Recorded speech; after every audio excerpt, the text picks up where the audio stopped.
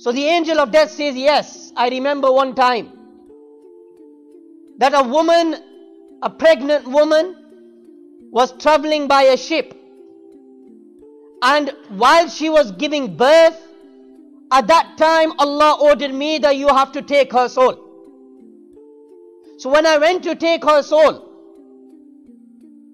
I took out her soul, she gave birth to this beautiful baby boy.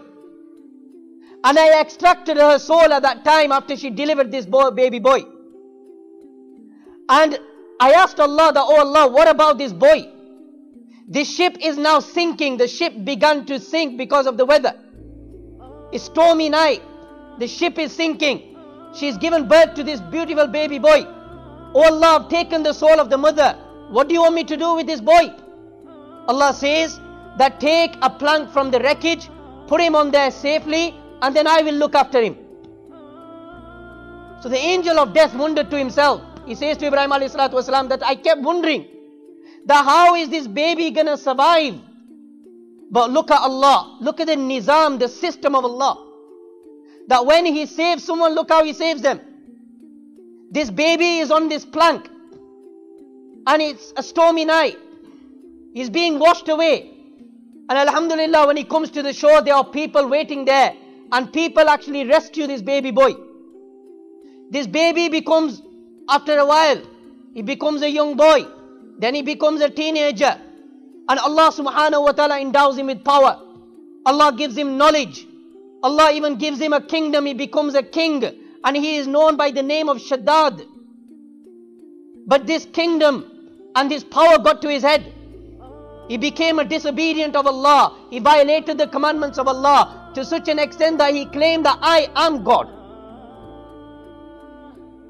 So one day he said to his people that worship me, do sajda in front of me, I am God, I am Allah. So they said to him, but Shaddad, look, you're a king, we respect you, we honor you, we cherish you, but that's about it. You know, God, you're going out of line here.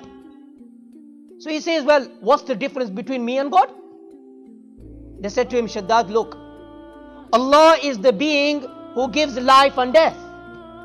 Allah is the one who has created Jannah and Jahannam. So Shaddad says, So what? Life and death? I'll show you I give life, I give death as well. So he told his gods that go and bring a group of people, you know, innocent people, people from the community. And this group of people are brought before Shaddad. And then he makes two groups out of them. He says to his gods, kill the first group. So the first group goes, uh, the gods go and kill the first group. And then he says to the people, Look, I give death. Then he says to his gods that go and kill the second group. So when the gods go to the second group and they are just about to kill them, Shaddad says, Stop.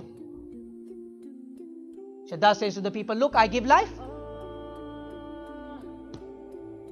Then they say to him, Look, Shaddad, Allah has made a Jannah and Jahannam. Where's your Jannah and Jahannam? So this is the time that Shaddad started to build a Jannah on this earth. He gathered the best architects in the world at the time, the best builders at the time, the most expensive bricks, the most expensive equipment he could get his hands off. This man got it. And it took years. It took years. And these architects, these builders actually made something resembling a Jannah. They made such a beautiful garden. So many fruits in this garden. Beautiful women. Trees, Allahu Akbar. Such beautiful trees they made. That the flowers, when it, the wind would blow, from the flowers, the smell, the fragrance of uh, uh, musk and amber would emanate from these flowers. Such a beautiful Jannah. He made a Jannah on earth. Now come the day of the opening ceremony.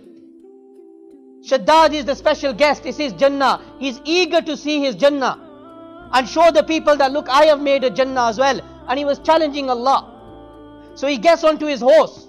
He is going to this Jannah on this opening ceremony.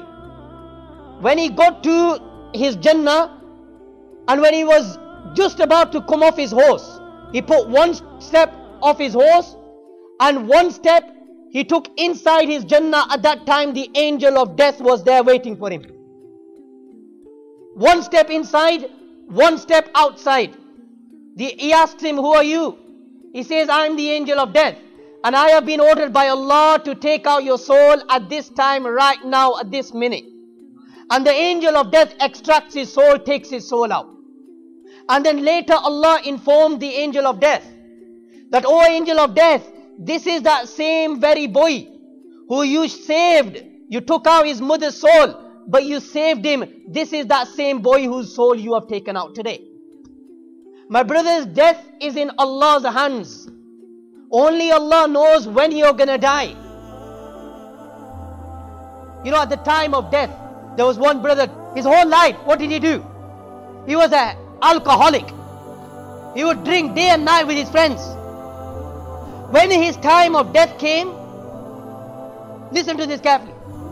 When the time of his death came, his family were all around him and they were saying to him, Beta, recite La ilaha illallah. Say the kalima La ilaha illallah. And what is he saying? He is saying, Give me a vodka, you have one also. At the time of his death. And with these words, he leaves this world. Another brother, hooked onto music, day and night, 50 Cent, Snoop Dogg, in his car, you know, blasting this music, in his home, blasting this music, 24 7, nothing else to do. At the time of his death, my brothers, true incident, sad but true, Muslim, youngster, at the time of his death, family is saying, recite La ilaha illallah. And he is singing songs of 50 Cent and Snoop Dogg, and this is how he leaves this world. My brothers, you will die at your appointed time. But the choice is yours. If you lived a life of good, if you lived a life of obedience to Allah, if you were an obedient Muslim, you performed your salah, you didn't violate the commandments of Allah, then the Messenger of Allah sallallahu says that at the time of death, when the angel of death comes to him, Allahu Akbar. An angel of death, you know who the angel of death is? Ibrahim والسلام, asked him once. He asked him, O angel of death, show me the appearance that you undertake at the time of taking the soul of a good person, of an obedient person. So Ibrahim so the angel of death, he takes this form. And Sayyidina Ibrahim والسلام, what does he find in front of him?